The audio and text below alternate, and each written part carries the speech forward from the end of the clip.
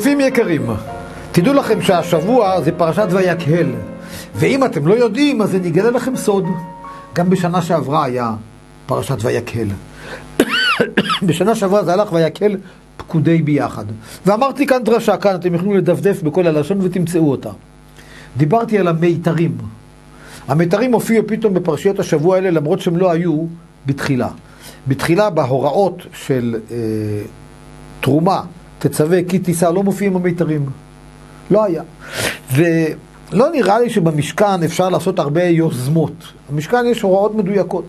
ביוצר של פרשת שקלים, הפייטן מתאר את בריאת העולם, זה כולל גם כן את מלאכת המשכן, השקלים זה הכספים שהביאו לבית המקדש, ואת הפירוט המדוקדק, המדוקדק, המדוקדק, איך הקדוש ברוך הוא ברא את העולם, כמו שדיברנו על כך, בגוף שלנו אין שום דבר מיותר. קוץ קטן קטן, לא רואים אותו בעיניים.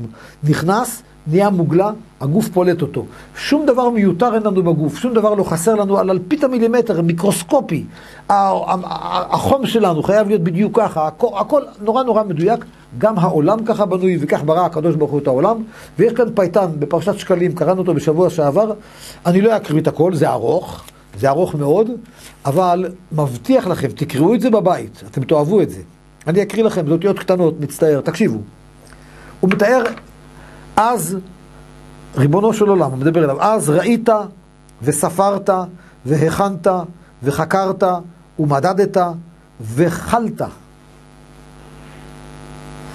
ושקלת ואמרת וצברת ופקדת וחשבת ושמחת ומנית וספרת וקצבת וחרצת וגזרת וסיפחת ושיערת ואיבדת והבנת והשכלת ושרת וסקרת וכתבת וחרטת וחקקת וציינת וחרטת ולמדת והודעת וחווית והורית וגזרת וציווית וקראת וענית ודיברת ואמרת כל מניין ומפקד וחשבון ומספר כל משקל ופלס וכיס וגזוריו כל קיל לך ויבש ומסוריו כל קו וקצב מדד ושיעוריו לדקדק חשבון לכל דבר, לכל יגולם חשבון וישותף עבר, מתחילה במדידה מחמש מאות שנה, עד שהוא מכלה אצבע קטנה, דרך יום הוא בעשר פרסה, וארבעה מיל הוא כל פרסה, ומידת מיל שבעה ומחצה ריס. בקיצור רבותיי, להקריא לכם עוד, אין לי בעיה, זה ארוך.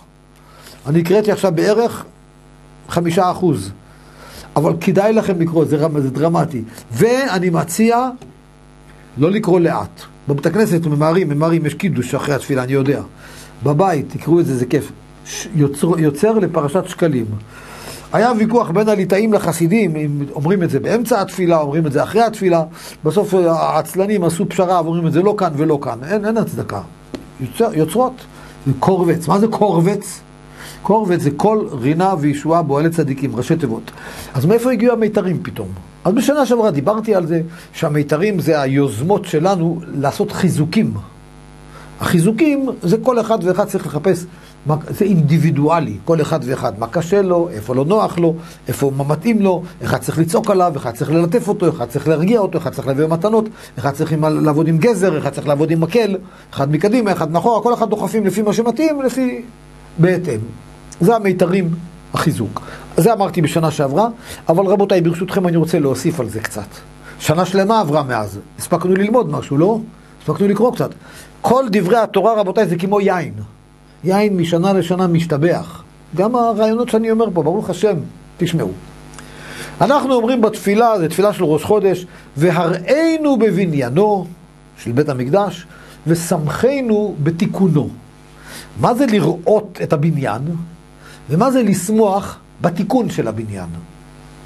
אז יש פסוק, כמדומני שזה בספר עמוס, פתאום יבוא אל היכלו האדון.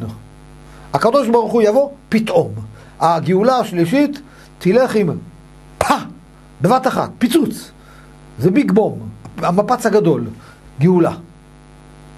ורש"י אומר את זה בגמרא במסכת סוכה, בית המקדש השלישי ירד בנוי ומשוכלל מן השמיים. מרגש אותי רק לדמיין בית מקדש שלם.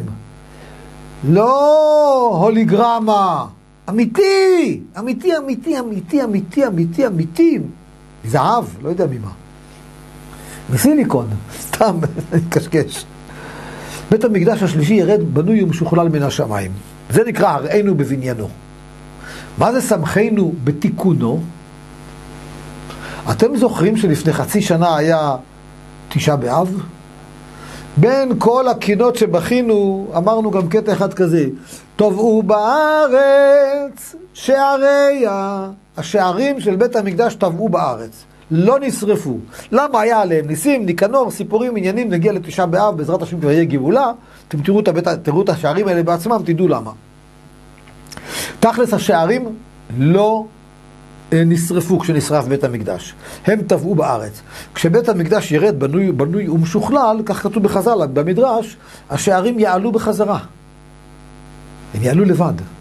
ודרך אגב, לפני הרבה מאוד שנים, כשהרב יוסף חיים זוננפלד היה רב של ירושלים, אז מטעם העירייה, לא יודע אם זה היה עירייה, של הטורקים עוד, חפרו צינור להניח מי שתייה או מי ביוב בעיר העתיקה, באזור של הכותל המערבי, באזור הזה. חפרו, והיה יהודי פועל אחד, שכשהוא חפר הוא פתאום ראה משהו, הוא לא סיפר בחיים מה הוא ראה, הוא לקח איתו אל, הסוד, הוא לקח איתו אל הקבר את הסוד הזה, הוא ראה משהו מדהים, עזב את העבודה באמצע, רץ לרבי יוסף חיים זוננפלד, לספר לו מה הוא ראה. רבי יוסף חיים אמר לו, תכסה בחזרה ותשתוק, זה שייך למשיח. אם תפתח את זה עכשיו יהיה רע, שיקחו את זה כבר לאנגליה, למוזיאומים, לך תדע מה שיעשו עם זה. תכסה ותסגור, זה שייך למשיח. אולי זה השערים, אולי יש עוד דברים. סיפור דרמטי, מופיע בסיפורים אה, מקור, אה, עם מקורות מהימנים. על כל פנים, טבעו בארץ שעריה, וחז"ל אומרים שהם יעלו בחזרה. את השערים האלה אנחנו נחבר בעצמנו. צריך לחבר. נבוא עם מברגה חשמלית, נבוא, לא יודע, עם קומפרסור לפי גודל הברגים שיש שם. נצטרך לתאם את הכלים, אני מתנדב בלי נדר בעזרת השם. אז זה נקרא סמכנו בתיקונו. אז למה סמכנו? כי כשאנחנו שותפים, אנחנו עושים משהו בעצמנו, בידיים, זה הרבה יותר משמח. הראינו בבניינו. וואו! זה משמח, אבל בסדר, זה שמחה כזו שדועכת מהר, כמו כל ראייה יפה. כשאני נכנס שותף, לוקחים ברגים עבים, מודדים, בקיצור, לא יודע מה עושים שם, אני סתם אומר, אז רוצה אדם בקו שלו, הייתי שותף, עשיתי בעצמי, בעצמי בידיים שלי, במו ידיי, אנחנו נעשה את זה, סמכנו בתיקונו. עד כאן בסדר. אבל השאלה שלי, מה פתאום בדיוק שערים? למה לא את המנורות, את הכרובים, את השערים? זה מה שאנחנו, נשאר לנו לעשות. למה שערים? למה שערים? בדיוק על זה מדברים פה. את השערים, את הכניסה, את הגבול, זה אנחנו צריכים לעשות לנו לבד. יש כאן בית המקדש, כאן אני, איך נכנסים, מה חושבים, מה מסירים מהראש, מה זה. אין שערים אוטומטיים ולא דלת מסתובבת ולא כלום, זה לבד. לעצור שנייה, לנשום עמוק, ואני ברוב חסדיך אבוא אל היכל קודשך ביראתך. לא. לא אמרתי זה מספיק טוב, עוד פעם, תלך אחורנית. ואני ברוב חסדך, וואו, ברוב חסדך. בקיצור, כל אחד ואחד עם השערים שלו, את השערים תעשה לבד. אם כן, התקדמנו קצת אל המיתרים. עכשיו אנחנו מבינים למה מיתרים תעשה לבד. אי אפשר לחפש במשנה ברורה איך עושים את המיתרים. המיתרים נועדו לבדיוק ההפך. בהלכה אנחנו מחפשים מה לעשות, איך לעשות, מה צריך לעשות. המיתרים נועדו לעשות אותנו יציבים. תהיה יציב, אל תתנדנד. אל תחפש חומרות, אל תחפש קולות, תעשה נכון. אל תחפש קולות כי אתה לא עבריין, אל תחפש חומרות כי אתה לא... אה, איך קוראים לזה? לא יודע. אה, כפייתי. יש אנשים שכל שלוש דקות או כל דקה וחצי, אני לא יודע, אתם יודעים, מוציאים את הראי מהכיס לבדוק אם התפילין ישרות. יש לתפילין רגליים? הם הולכים לאיזשהו מקום. אם קיבלת מכה בראש, הופ, יכול להיות שהתפילין זזו. וכשאני יושב ומתפלל, 40 יום רצוף, יומם ולילה, התפילין לא יזוזו מילימטר. האוזניים שלי לא זזו מהם שנולדתי. כלום לא זז. שמתי כאן את הפלאפון, מנותק. לפני שעה, הוא לא זז. שמתי כאן את התפילין, בדקתי, זה בסדר. למה כל שלוש דקות להסתכל? זה לא דת. החבלים, המיתרים לא מספיק מתוחים. לא, לא, מייצ... לא, לא יצובים. אני אתן לכם אולי דוגמה. כתוב בהלכה, בתורה, שאישה לא כהנת, אם היא מתחתנת עם כהן, מותר לה לאכול תרומה. היא כהנת, מזל טוב. ומה קרה אם הכהן נסע לאמריקה לשלושה חודשים? מותר לה לאכול תרומה? כן. רגע, אולי הוא מת. אם היא אלמנה כבר אסור לה לאכול תרומה. אלא אם כן יש לה ילדים, היא אוכלת בכוח הילדים. אולי הוא מת. די, מה הפנאטיות הזאת? למה ימות? אולי, אולי, למה, למה לא ימות? אולי, אולי, אולי באמת. יש אנשים כאלה, דרוויזיות. אולי התפילין זזו? אולי זה? אולי? למה אולי? אם אתה מפחד שה... אם את מפחדת שבעלך מת כשנסעת לאמריקה, אז למה כשהוא הלך למינכן מייריב רבע שעה את לא מפחדת? בבית הכ... מהבית שלך לבית הכנסת יש כביש? לא, הכל רק מדרכה. אולי אוטו עלה למדרכה ודרס אותו? התקפת לב לא יכולה להיות? אה? אולי מה פתאום, הוא לא הלך למינכן בכלל, הוא הלך לבית, לבית הדין לכתוב לך גט, הוא גירש אותך. למה את אוכלת תרומה כשאת לא רואה אותו? הוא עכשיו ישן במיטה. לכי לחדר, תסתכלי אם הוא נושם, אולי היה לו מוות בעריסה. ואיך את אוכלת תרומה? ורגע, עכשיו את ראית שהוא ישן, והלב נקט בלב, והלב דופק, בסדר? אל תלכי למטבח לאכול, כי אולי בינתיים הוא ימות. תאכלי על ידו. ברגע שהוא מפסיק לנשום, תוציאי מהפה את מה שיש לך. רבותיי, יש אחד כזה שככה עושה דת, אז צריך אשפוז, צריך אה, כדורים לאזן לו את המלחים במוח. זה לא, זה לא דת, זה משוגע. מה צריך את המיתרים? לייצב. מיתרים שיהיו יציב. אל תתנדנד. תעשה, לא אל תתנדנד בתפילה. בתפילה כן, כי הלהבה מתנדנדת. כתוב במעמד הר סיני, וינועו העם ויעמדו מרחוק. וינועו. אז יש אפילו בתשוב, בתשובס לא להתנדנד ככה, אלא להתנדנד ככה. למה? חשבון, חשבונות בקבלה כנראה. על כל פנים לענייננו. אנחנו צריכים את המיתרים בגלל אותה סיבה שאנחנו מחברים את השערים. אנחנו צריכים מיתרים, מיתרים בשביל להיות יציב, לדעת מה הקדוש ברוך הוא רוצה, ובשביל זה צריך ללמוד משנה ברורה, ומה שהוא לא רוצה צריך עוד פעם ללמוד משנה ברורה, מה שלא כתוב אל תמציא. תהיה ישר, חזק, יציב. מה שנכון, נכון, מה שלא נכון, לא נכון, והקדוש ברוך הוא נתן לנו שכל ישר, לא לשפוט את התורה, אלא לשפוט את השאלות ה... שהן ב... במה? בערפל, בין, בביניים, בדמדומים. את השאלות האלה, אין לנו ברירה. אנחנו לא תמיד יכולים לרוץ לרב באמצע הלילה עם כל מיני שאלות. אנחנו פוסקים לעצמנו לבד, ולפעמים פוסקים בשאלות של איסור דאורייתא, של מצוות מדאורייתא. לעשות הכל נכון, יציב בלי לחצים. כשיש באמת ספק, ספק אמיתי, אז אנחנו נקרא בשבוע, בשבוע הבא בפרשה, פרשת ויקרא.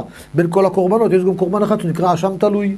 אשם תלוי זה כשיש ספק אמיתי. לא כשמישהו הולך מהבית שלו לבית הכנסת או לכולל או לעבודה, עכשיו הוא מגיע לעבודה, הוא אומר אולי היה עכבר מת בדרך ולא ראיתי ודרכתי עליו ואני טמא ואחר כך הלכתי לבית המקדש ונטמאתי טומאת מקדש וקודשיו אוי ואבוי לי השם ירחם עליי. מי יכניס לך עכברים לראש? ראית עכבר? את הזנב שלו ראית? מה קרה? למה? למה אתה חושב ככה? צריך מיתרים. שהמיתרים יהיו מתוחים, לא להתנדנד. אבל אם מותחים אותם יותר מדי, פוקע המיתר האחרון של ההיגיון. מתחילים להיות משיגנר. אז זהו. אז אם כן, אלה המיתרים שלא כתובים. אנחנו צריכים לבד לעשות אותם. איך לעשות, ממה לעשות, איזה אורך, איזה רוחב, כמה למתוח. כל אחד ואחד לפום חורפי, כל אחד ואחד לפי החריפות שלו, לפי הידיעות שלו, לפי האישיות שלו, לפי המנטל. בשולחן ערוך כתוב להניח תפילין, נכון?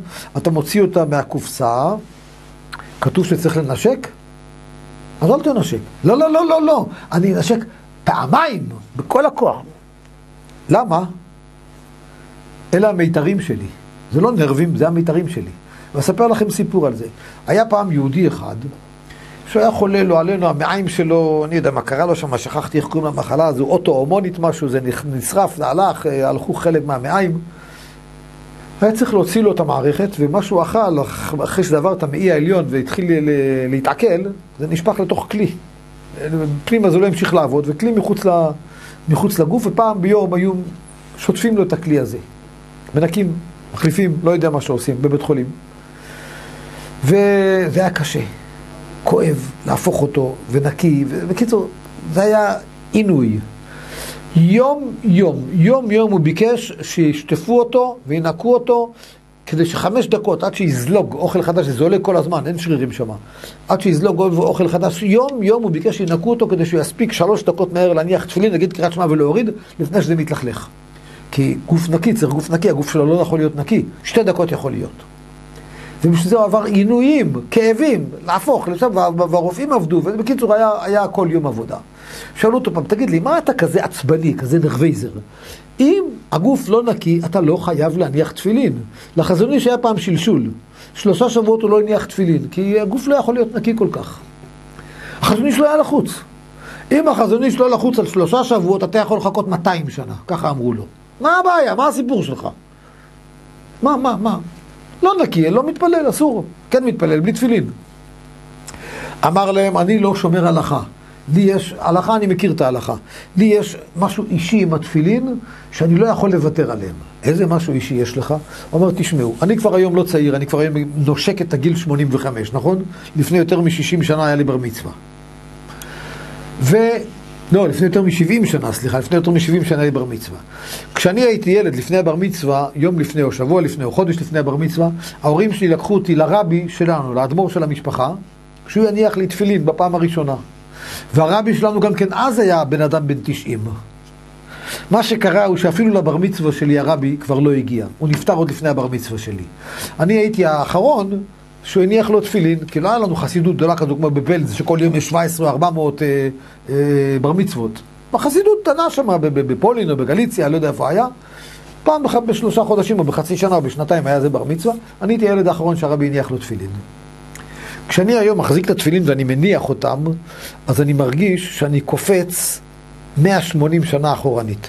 את ה-70 שנה שלי ואת ה-80 שנה של הרבי, 150 שנה אחורנית. בבת אחת, הרבי בעצמו הניח לי את התפילין. זה, זה התפילין שהוא הניח לי. אז אני עכשיו מגלגל זוג תפילין של לפני 150 שנה. זה מרגש אותי, ובשביל זה שווה לי כל המאמץ. זה סוג של מיתרים, זה מיתר אישי, זה מיתר בלב. זה מיתר בלב שצריך לנגן, בין... להקשיב אותו. די, מה, סבא שלך, סבתא שלך, אדמו"ר, מה קרה לך? יש לך מיתרים אחרים בלב, מיתרים של בס, של גיטרה, בם, בם, בם. אדוני, המיתר שלי דק, דק, דק, דק, דק, דק, דק, בקושי רואים אותו עם חוט, וצריך להקשיב, איזו נגינה עדינה. כל אחד והמיתרים שלו. זה אי אפשר לצוות. זה צריך לאהוב, לרצות ולעשות נכון, בעזרת השם.